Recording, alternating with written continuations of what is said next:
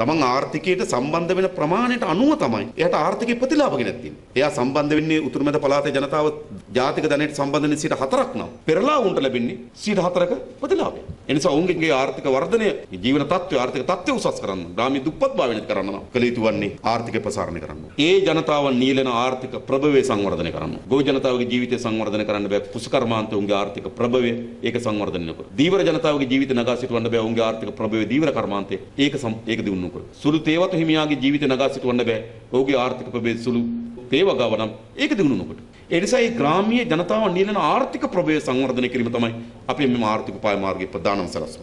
මේ සමස්තයට සමන්විත වැඩපිළිවෙලක් අපි ඉදිරිපත් කළා තියෙනකොට දැඩි විශ්වාසයක් අපිට තිබෙනවා. ඒ නිසා අපි විශ්වාස කරන්නේ මෙම වැඩපිළිවෙල ක්‍රියාවට නැගීමකින් තොරව ඉදිරි ගමනක් නෑ.